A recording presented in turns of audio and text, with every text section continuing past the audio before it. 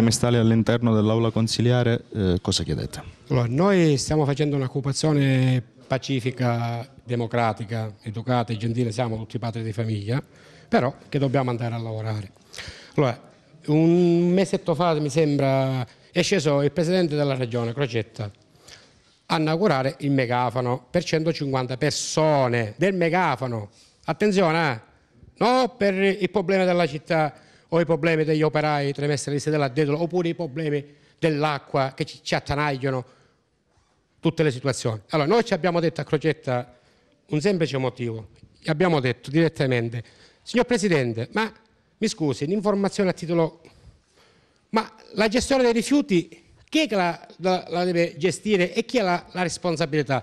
L'amministrazione comunale o la regione? Crocetta gli ha detto a noi, qua sono i miei colleghi, tutti testimoni, e lo possono anche firmare, gli ha detto, queste frasi parole, Ragazzi, dipende dall'amministrazione comunale. Da oggi in poi l'amministrazione comunale si può andare per conto suo, in aro, in house, in privato, perché già hanno eletto un presidente che si chiama Ortega dell'SRR. Ora io vengo e mi spiego. Noi siamo precari degli autorifiuti, siamo qualificati operatori ecologici, a tutti gli effetti siamo operai prestati dalla Dedolo a svolgere il servizio come pulizia delle spiagge.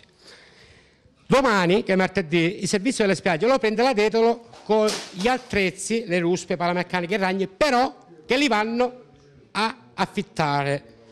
Prendono dei soldi in noleggio. Allora di dare lavoro a 30 padri di famiglie, li danno in noleggio. Allora vengo e mi spiego, ma il comune si è fatto un presidente della SRR, una pianta organica penso che ce l'ha come Parma di Montechiaro, no?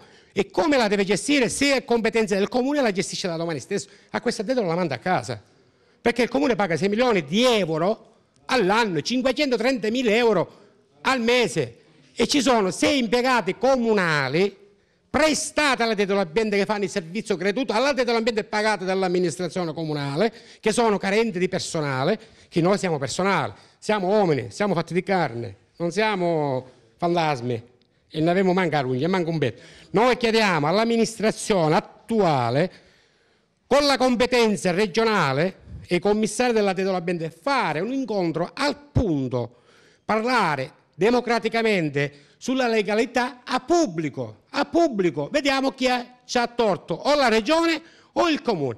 Noi detti trimestralisti stiamo occupando l'aula da ora, zina domani mattina, zina dopodomani, zina dopodomani, zina dopodomani. Facciamo, facciamo sempre pacificamente, normale ovviamente, perché siamo esseri umani, non siamo lupi oppure ci mangiamo le persone e chiediamo un incontro al signor Eccellenza Prefetto Diomedio che scende a Licata per, per risolvere questi problemi che sono turbolenti, molto turbolenti, stentrate, suscite, sta palla, passa mia, passa tia, passa tia.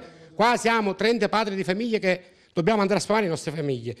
E noi oggi diciamo all'amministrazione, al sindaco, all'assessore al ramo, alla giunta, assessore, consigliere, alla maggioranza all'opposizione che nessuno prende parte, nessuno no, togliendoci a qualche due persone che si ribellano alla maggioranza e pigliano per l'opposizione, che si ribellano, nessuno parla. Noi non volevamo morire di fame perché noi sopravviviamo dei tre mesi e gli altri nove mesi che facciamo?